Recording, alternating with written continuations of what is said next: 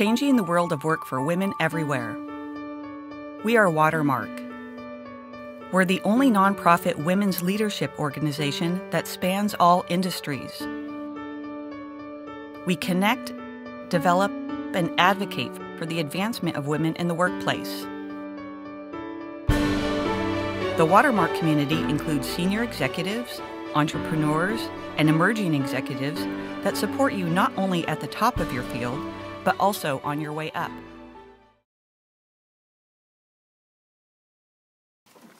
Thank you so much for having me here today. I'm so honored to be here and very excited. Uh, for a long time, I didn't come to events, I didn't speak at events because I am an extreme introvert and I'm scared out of my mind doing this. But here I am. Thank you. and I would, I would just rationalize reasons why I, I didn't do this, that I was, I was going to get distracted from my work, and I dove into work. And I, I realized that that was dumb because while I was surviving, I wasn't thriving. And after a while, I realized I was making choices that were holding me back from growing. I'm sitting at my desk one day, writing emails, business as usual, when boom, out of the blue, I get an invitation to have lunch with Oprah. I know. Now, don't tell Oprah, but I didn't watch her show. Like most CEOs at 4 o'clock in the afternoon on a weekday, I was working, like Oprah. Uh, but obviously, you don't need to watch her show to know who she is and what she stands for and her philosophy. So I knew she could reach people, which is why my company advertised in her magazine. So I type, of course, I'll have lunch with you, and 39 other advertisers, because even with Oprah, there is no free lunch. And I hit send. And I think, oh my God, what am I gonna wear? The most important thing. Um, and I know that might so sound shallow to you, but honestly, who has not felt the connection between looking good and feeling good? I've spent over three decades of my life trying to amplify that feeling and that experience and this connection, and I believe it's true. And as Oprah says, you become what you believe, not what you think and not what you want. So I was a teenager back on Long Island, Smithtown, and it was a Saturday morning, and I was getting ready for the big kick line um, we, we danced at halftime at the football games, and I'm in my bedroom, and my braces are all shiny, and I was able to cover up all 400 zits on my face.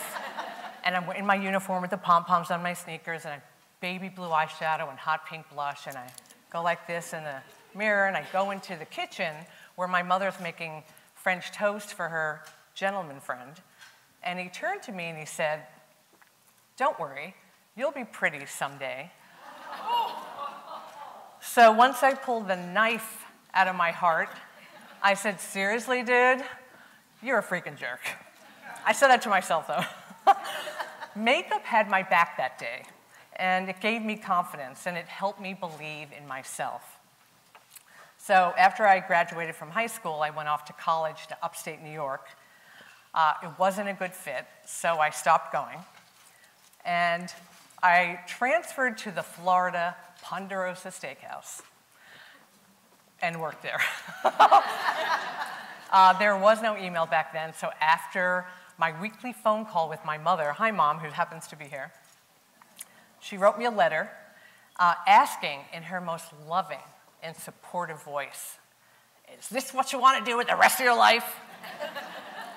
Mom was a high school teacher, and this was basically my report card.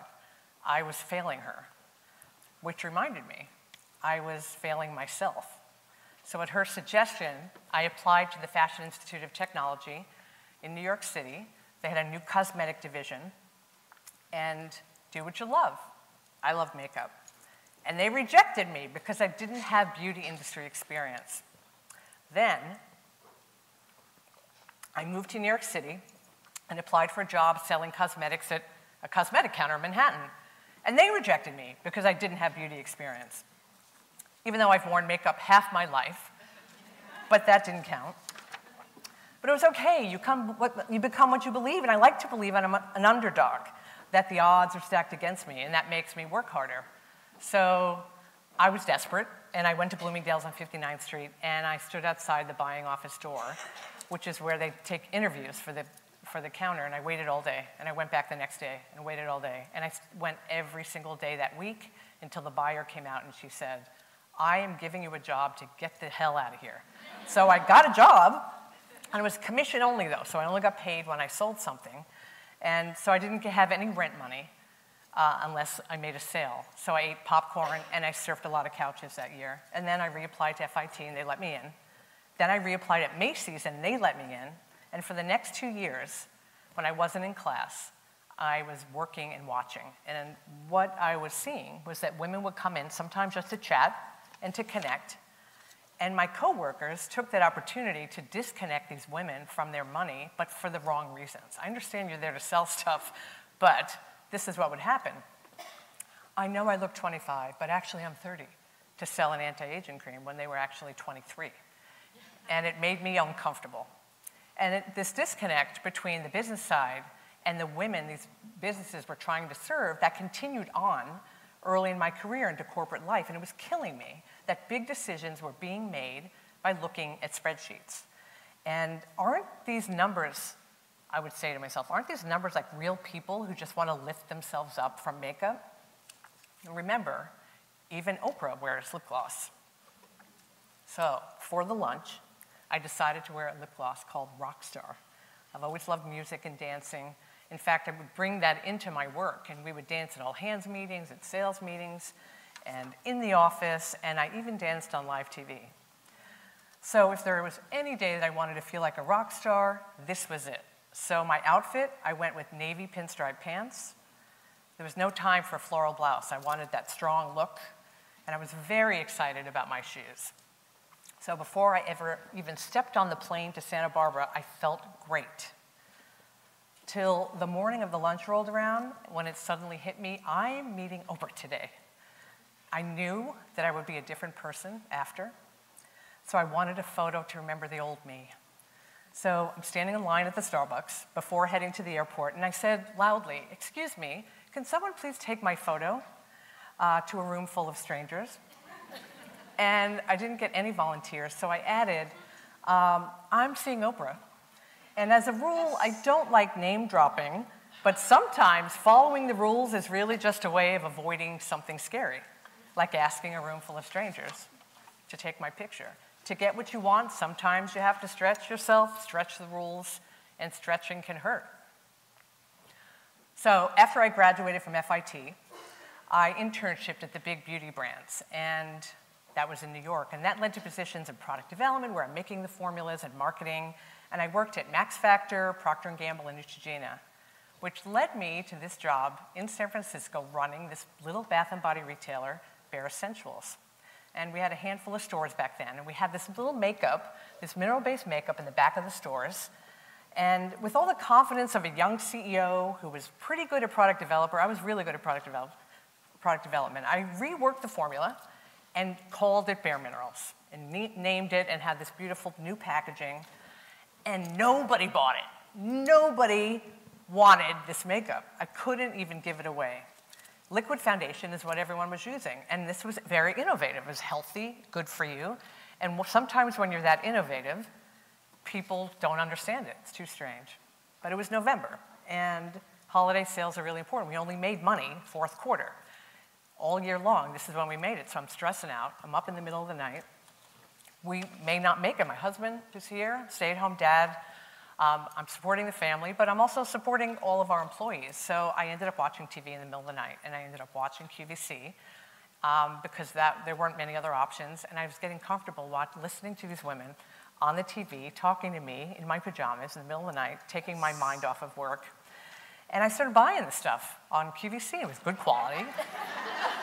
and I bought my set of three stacking gemstone rings, and I still have them. They're fabulous. And then it hits me, maybe I should try and get my product on QVC. I can't afford traditional advertising, so let me try it. But that really doesn't make sense because you have to match your skin tone to the makeup. But that didn't really occur to me when I decided to go on air. To get what you want, sometimes you have to stretch yourself. So, On that Mother's Day, I jumped out of an airplane, tethered to an instructor whose parachute didn't open. My husband and young son, two little dots, growing bigger by the millisecond. My husband having warned me before going up on the plane, are you sure you want to like die in this field in front of your son on Mother's Day? but I figured if I could survive this, I could speak to 90 million households on live TV. I have a fear of heights and I have a fear of speaking. And the backup chute finally opened, and I went on QVC with a product that I cared so deeply about that I got the viewers to care about it because they could see I was super passionate about this makeup that I believe could change women's lives. And I wanted them to know I had their back, like the industry had my back when I was a kid. Six minutes later, we sold out, what a store did in two weeks' time with a wait list. So when I got back to San Francisco, I got a phone call uh, from a woman who lives in Georgia. Her name is Maureen, and she called to find out what color nail polish I was wearing. And she told me that there was some conversation happening on the message boards on QVC. So that night I got home and I went online. And I saw that women were talking about their under eye circles, they were talking about their relationships, their kids, their lives, their work, and a little bit about makeup. And I stayed online for four hours. And I stayed online four hours every night for the next 10 months straight because I was obsessed. And then I started calling customers to thank them giving them my personal cell phone number, which I had to change four times because they kept calling me because I kept giving out my personal cell phone number. and then I started giving away stuff from my house in online giveaways. So I would go in my closet and give them my clothes. I'd give away my shoes. I'd give away my jewelry and family heirlooms. Uh, doesn't everybody do that? Till my husband said, Where's that vase? And then I had to be more discreet so that he wouldn't notice. but I still did it. Uh, eventually, these conversations turned into a full blown social network till the internet wasn't enough. And we needed to meet in person, so we did bus tours. I actually rented out Lady Gaga's bus when we went all around the country. We stopped in malls and Sephora's and Ulta's and Bare boutiques and uh, parking lots and Hooters, even, don't ask. Um, we were applying makeup to each other's faces, and we went on girlfriend weekends in New Orleans and Las Vegas and San Francisco for three day weekends together. We went to hotels and had pajama parties. We went on weekend cruises, and we would dress up in our gowns at the captain's table for dinner. We would dance at midnight. We asked our customers for product ideas. We named our products after our customers, and we watched these products become collector's items. We were building this company together. And allowing customers to participate in building the business is very powerful. I loved connecting with these women. We got to know each other, and it was amazing. And this passion kept leading me to new connections that gave me more confidence, that led me to some more mind blowing experiences. So, standing in line at Starbucks in my pinstripe pants, my power shoes, my rock star lip gloss, name dropping to get somebody to take my pre enlightenment photo. When the woman behind the counter, now she's been taking my order for the last eight months, she says, Why would Oprah want to have lunch with you? Which is a good question, but not helpful in that moment. But the police officer standing in front of me, he could tell this was a big deal for both of us. So we take a photo together. And I head to the airport to meet the other attendees, who turns out are also feeling like rock stars, the lucky few going to the Royal Palace, which we kind of are. So the plane lands, they pick us up in this fancy van, they drive us up this huge hill, huge gates, there's this huge lawn. I think maybe there's a pond, or maybe it was a lake, I don't know. Someone shouts, There she is, like we've seen a lion in the wild about Oprah. Standing behind some flowers, we're like pushing each other out of the way to the window. The van stops, they open the door, and we get out. It looked like a house, but I think it was something else, this huge house. There's a woman there with a tray of cocktails. There's Gayle King, Oprah's best friend.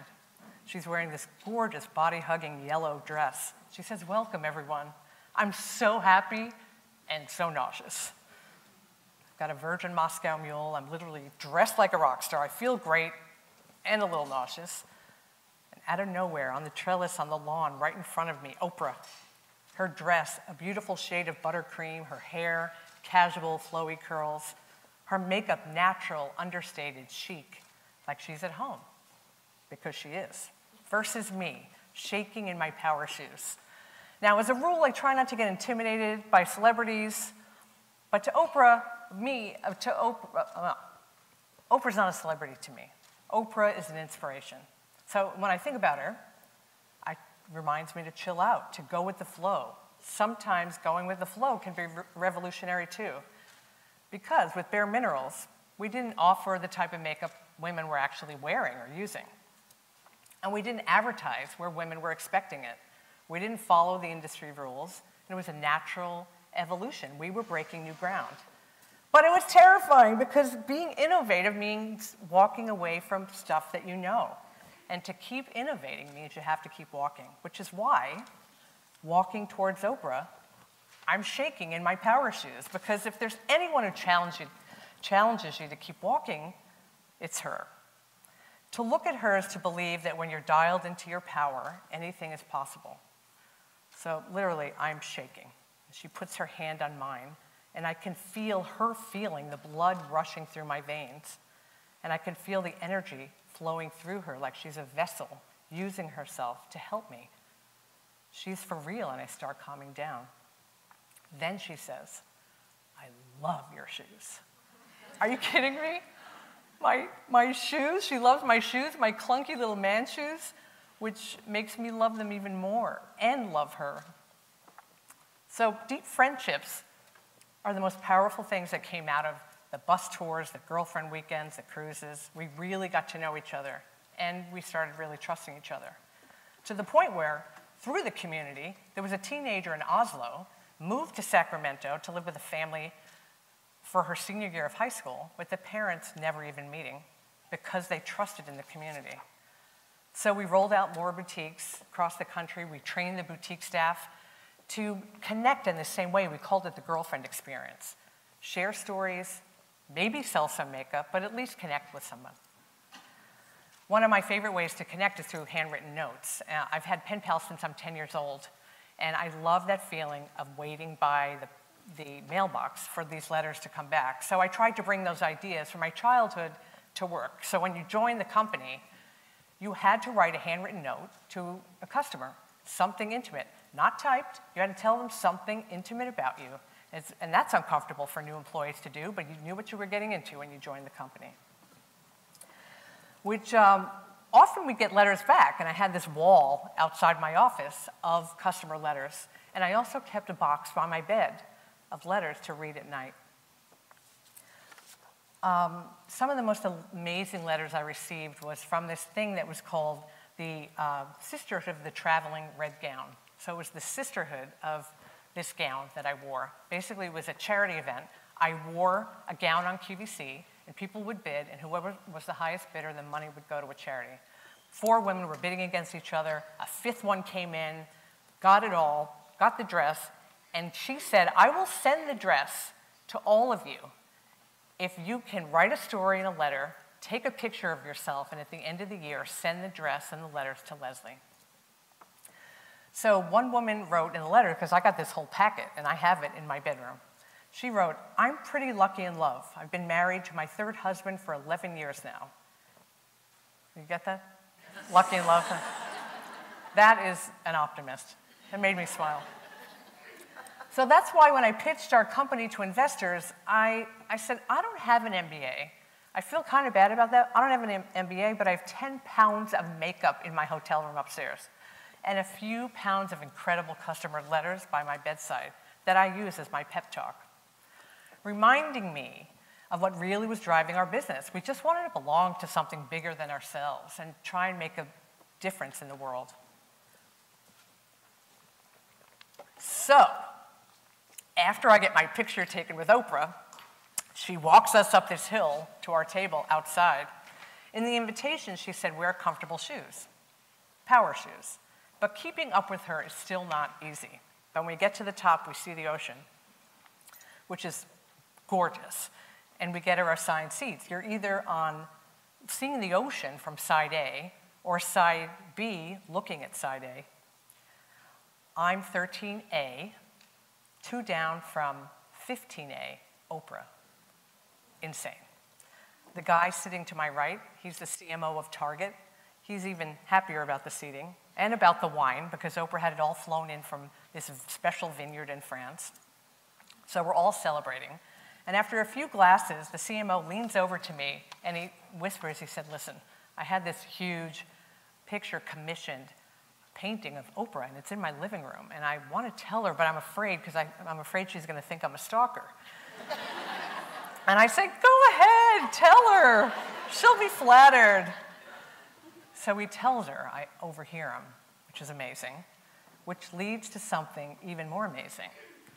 She kisses him, which leads to something insane. I belt out from 13A after two glasses of wine with this little swagger and this little bit of cockiness.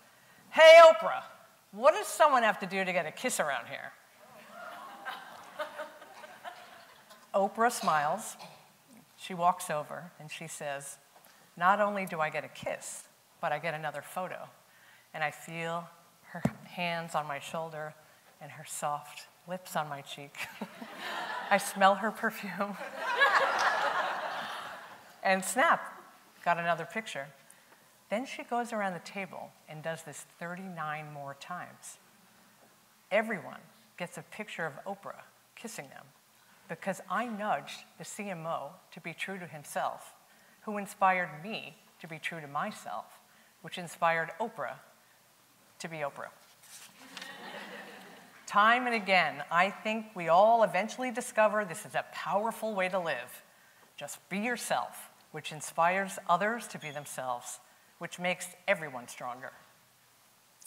So, being ourselves as a company meant getting the word out about our products. And we'd always use infomercials as our form of advertising and word of mouth. We'd bring real people in, and they would tell their personal stories, and we'd film them. At one point in the company, the team is like, you know what, we need to try this traditional advertising thing. So, but you have to understand, that's a huge risk for us. It's very radical when you've been using real customers all that time. So when it came to hiring models out of the portfolio like you normally do, uh, didn't sit well with me. It was, was wrong. We can't do it that way. So we came up with this idea. We went to LA and we had 80 models come in. And we had this wall between us, and all of us on the team were on one side of the wall, and the models were on another, one by one. They would have conversations with an interviewer. And we signed five women two modeling contracts without ever seeing what they looked like. It was a blind casting. But I just have to enforce here how crazy, crazy that was, and how risky that was, and how scary that was, because no one really knew what we were doing. We did this. So, what if my fear was what if all of them are 27 years old and blonde? And this is face. This is not like a Gap ad where their head's turned and it's their body. This is a full on face shot. So you can see we almost pulled out at the last minute because we were starting to get hives. But the, the risk was there, but we decided to move forward. They were beautiful, they were interesting, and they were unique. But this is the thing the employees can see in that moment we were the real thing. We didn't just talk about serving our community, we risked millions of dollars to, to live our values. Uh, it would have been really easy, trust me, to just hire five beautiful women, pretty faces, and be done. We probably would have had huge commercial, commercial success, but it wasn't about that. It was about we needed to live the values, and it worked on so many levels for us. And it just reinforced this core belief that fear is often the loudest voice in your head, but you can lift yourself and everyone around you above the fear when you listen to that voice. It is scary, yes, of course it's scary, but do what you think is right that's the kind of thinking that leads to innovative actions, like hiring models based on a conversation or asking Oprah for a kiss. So, what I didn't think through about my rock star outfit was my underwear. I focused on my lip gloss and my uh, shoes and my pinstripe pants, but somehow my underwear slipped under the radar. So when I got up to use the restroom, I asked my waitress, and I swear we all had our own. Swear to God, there were 40 waitresses there, so I felt very close to her. I said, Excuse me, can you see if I have a panty line? Which is mortifying because I do work with Sara Blakely. I'm on the board of Spanx, and she would kill me if she knew. But these things happen to all of us, and sometimes, like the next few minutes, because right after I leave the restroom, I spot Oprah, uh, like on the other side of the room, with three women. She was leading them down to another restroom in the house. And I shout out loud with my outdoor voice, Oprah! And she turns, and the other three women turn to look at me, and I say, Oprah, what brand is your toilet paper? Because it is the softest stuff I've ever used. And that is true, I said that. And it wasn't one of my finer moments. But, you know, Oprah is so tuned into people. She did not let me feel embarrassed by this at all. She, I, that, what a gift that was that day. She's incredible. And being, part of being incredible is to act in the moment and to be in it, even when it feels risky. So a few years ago, um, I was with Every Mother Counts, the organization that was founded by Christy Turlington, and uh, we went to Haiti together. And one of our stops was this girls' orphanage. And we brought a huge suitcase full of toys for the young girls. And we had jump ropes and color chalk and nail polish. And all the kids are playing. And I brought my Canon camera and I'm taking pictures of everyone. Um, everyone's having a great time. Except I looked up and there's a balcony area. And there were a bunch of teenagers up there. And they were um, kind of glaring at us. And I tried to make eye contact with the leader of the pack who was wearing this brown top, but she wanted nothing to do with me, nothing to do with my photos, nothing to do with any of us. And she takes the group down the stairs, across this huge cement courtyard, as far away as she can go, under a tree, on a curb, in the shade. And I know I'm supposed to be part of this whole thing with the young girls, but I keep feeling this energy there, and I feel like I need to connect with them, and I really want to connect with them, but I'm I kind of felt like I was dissed by them. And it reminded me of high school when I wanted to be friends with the popular girls and they didn't want to be friends with me, but there was something that was telling me I had to try. So I went with this urge because I knew I'd regret it. So I um, decided to, to do this, which are these lunges that I learned in exercise class. and I'm going across, and I, and I thought, you know what? The bus is 50 lunges away. I can just climb on the bus and be done. No one would know. And I wouldn't humiliate myself in front of these teenagers. But if I saw some kind of a reaction, I would go over to the girls. And sure enough, they were looking. They looked confused, but they were looking. so I lunged my way right back, right to them. And now I'm standing 10 feet in front of them, and they're sitting on the curb. And they speak French, and I don't speak French. So once I got there, I'm like, oh my God, I can't even talk to them. now what? And then I start dancing. And I do the robot, which I'm really good at. And then I picked that up from Soul Train in the 70s. And then, and then I do the rock, which is a dance I picked up from In Living Color in the 80s. Remember that? And then I do Martha Graham, because I did this in college, and then I did some tap. I did even country line dancing and the hustle. I mean, whatever was coming to me, I'm dancing. All of a sudden, some of the girls start getting up and start clapping, and they're giving me a little bit of a beat, and then they start like hollering a little bit. And I'm just now getting into it. It's hot though. It's like 95 degrees, 100% humidity, and I'm going at it. All of a sudden, the young girls are putting down, they're ditching the um, toys, and they're running over. And my son, who's with me on the trip, he's 21 at the time, he comes over. Now, I am an amazing dancer. You could tell, right? my son is unbelievable. So now we're dancing together like we're contestants from Dancing with the Stars. And we're getting into it. And then all of a sudden, I don't know what came over me, I started twerking. And that's when my son said, Enough, mom. So um, we're done and we bow. And I uh, showed the girls that Trent was my son. And the girl with the brown top uh, came up to Trent and said, um, You have a cool mom. in English, which was uh, one of the proudest moments of my life. Because that young girl inspired me to push myself, just as Oprah inspired me. The thing is, I didn't second guess it. I knew there was something that said, you gotta do this, you gotta do this, it's risky, it's scary, she could reject you. Rejection is not fun. You have to do this anyway. And oh my God, if I could just tell you, I danced in Haiti with teenagers who wanted nothing to do with me. I'm gonna live with that feeling the rest of my life, and I still have goosebumps.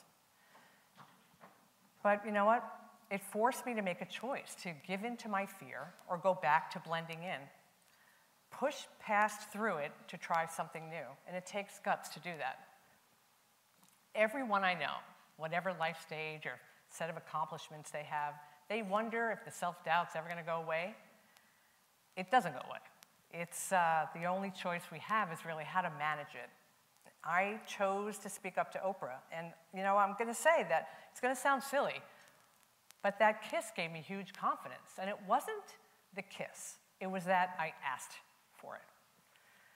Uh, maybe today you'll choose to introduce yourself to somebody who you don't know, and maybe that connection will lead to something mind blowing in the future. I wish I had done these conferences when I was younger, and I, am, I want to congratulate you guys for all being here today and every time you do this to meet new people because it inspires you to make better choices in your life for the rest of your lives. And I wanted to tell you about this story that I read a few weeks ago in the New York Times. Maybe you read it. It's this guy named John Goodenough. He's a scientist.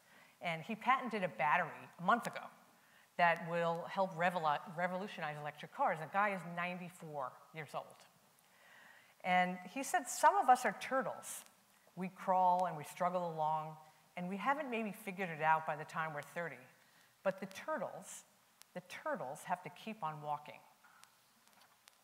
I love this guy because I've been walking my entire life, and I bet you guys do too, even when it's not easy, as I learned in Haiti and from Oprah, Oprah and right up to this moment, because I'm an introvert, and this means I have to stretch myself. But we can do it. It's a choice. Personal power is a choice. Choose to keep walking. Thank you.